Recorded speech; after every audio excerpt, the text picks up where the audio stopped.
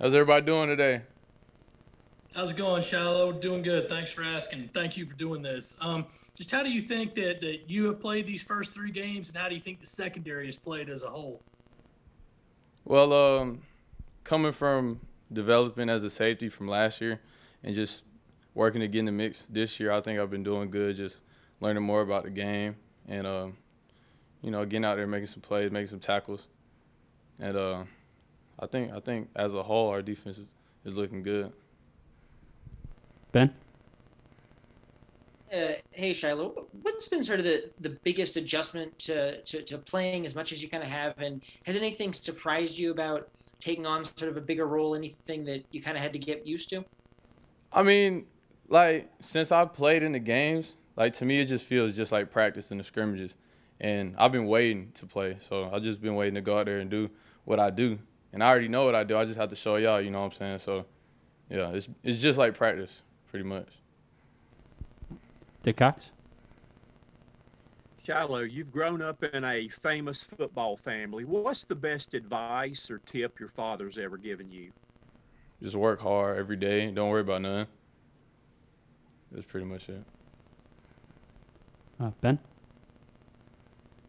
Uh, Shilo, what kind of a challenge has it been for you guys to sort of adjust with having Israel kind of in and out of the lineup and not having uh, Jalen last week? How how sort of tricky has that been to manage for you guys as a secondary? Well, with all the time that all the extra time that we had with COVID and all that, we've had like a big opportunity to get everyone on the defense on the same page with the plays, so we could, if we need to change something up like that, it's it's seamless. You know what I'm saying? So everybody's ready to play. Colin? Hey, Shilo, what have you seen from Auburn in the film that you guys have been able to watch, um, and, and how how talented is Bo Nix, and what can he kind of do um, now that you've been able to kind of dissect him a little bit? Um, they're a good team. They do a lot of different stuff that we've been working on today in practice. But uh, yeah, I know they got some good players. But as long as we do what we do, we ain't worried about none. Josh? Hey, Shilo, have you gotten a uh, scholarship offer from Jackson State yet? nah, when me and my dad talk, we don't really talk about that. But uh, you know, I'm proud of him. He's he's finally being a head coach. I'm glad to see what he does over there. What kind of head coach you think he's going to be? You said what? So, what kind of head coach do you think he's going to be? Well, I, I played for him before, and he he's definitely gonna get on your tail if you don't do the right stuff. So, he he's all about discipline. Are he and Muschamp similar in any way? He's probably the loudest voice that I've heard yell, like louder than Muschamp. He's the only one that could top him. So, so, so the, the yelling is it's Muschamp is two and your dad is one.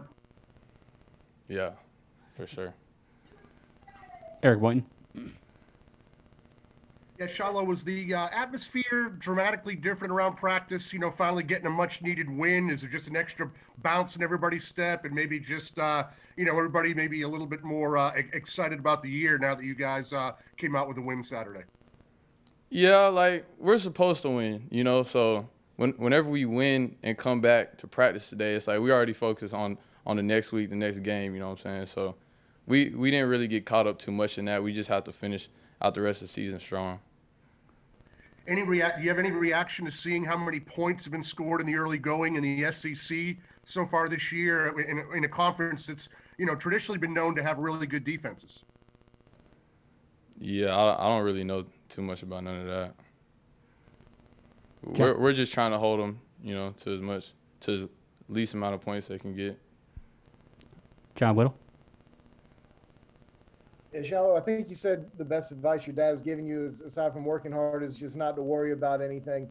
You know, how, how difficult is that to do and how like JC was in here talking talking a few minutes ago about seeing people giving him flack for not catching that interception, that one-handed interception. How how difficult is it to tune out the noise and, and does it come with an extra added uh, difficulty for you because you have because of your dad being who he is? I mean, it's just a, a high expectation, and I'd rather have high expectation than low expectation. So, like, that's not that's not a bad thing at all, and I could definitely play up to that, and that's what I want to put on the field every weekend.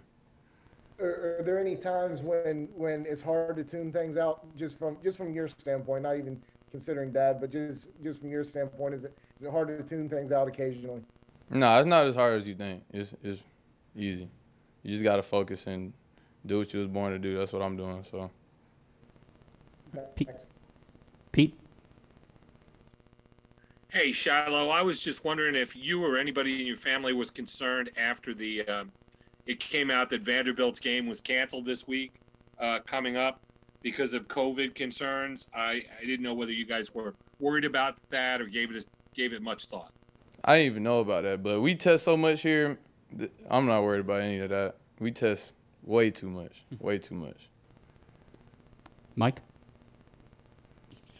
Uh, I mean, between between you and uh, JC's background, of course, you guys have a lot of similarities with your fathers playing in the NFL. What is that relationship like between you two, especially playing, you know, the same, well, you know, at least defensive backs? What does that help you in, in terms of being able to grow?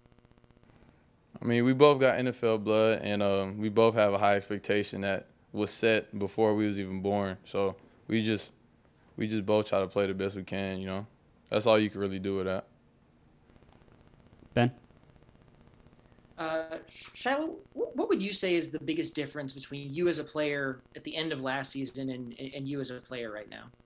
just knowledge, just knowledge of the game, knowledge of the defense, and the more the the more the defense you know, the faster you could play, and the more control I feel like I got over field situations, because you know the defense, you know how the defense is gonna work. You know if you get a certain look, what are you gonna do? You know what I'm saying to counter that, you know where to be. So it, it just helps you play faster, just knowing what to do, and that's the biggest difference with me from last year and right now.